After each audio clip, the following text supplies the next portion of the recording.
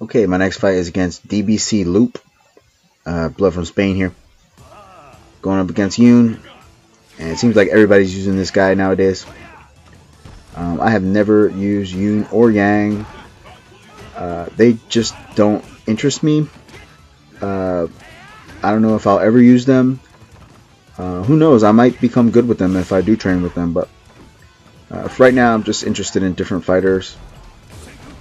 But Yun seems to be one of the favorites uh, in this game. And he's trying really hard for some focus attacks.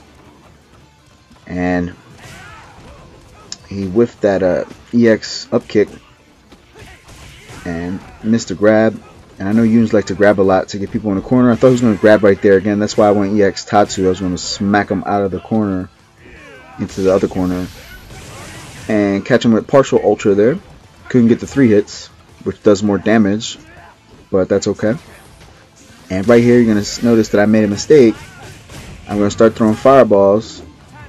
And get punished with the ultra. So he probably was uh, baiting that out. And uh, just gotta watch out for that more often. I didn't realize he had Ultra 2. I, I forgot about that Ultra. Most Yuns use uh, Ultra 1, to be honest with you. And nope, get parried. So make this Yun think twice about doing dive kicks on me. And I thought he was going to empty jump grab because I missed my parry, but he didn't. So that's that actually is good for me. Um, just kick him out of there, create some space so I can start throwing fireballs again. And you know he's going to try dash forward, and it's going to be uh, his face is going to be introduced with fireballs each time he tries dash forward. But he catches me in the ultra again, and I didn't expect it that time. I guess that's the idea, but I'm still alive, and he is burning meter left and right, and he's just going to walk right into the back throw into the partial ultra again but it doesn't matter. It's gonna it's gonna kill him. So that just goes to show you how desperate Yuns can be sometimes. He burned like three EX bars at the end of that round just to try to ensure the victory, and he didn't even get it. Um, so now, even though I don't have any meter, get parried.